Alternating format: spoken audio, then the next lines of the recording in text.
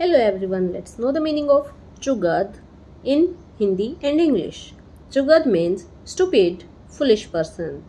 हिंदी में चुगद का मतलब होता है महामूर्ख उल्लू बुद्धिहीन मूड या मूर्ख stupid that's all in this video thanks for watching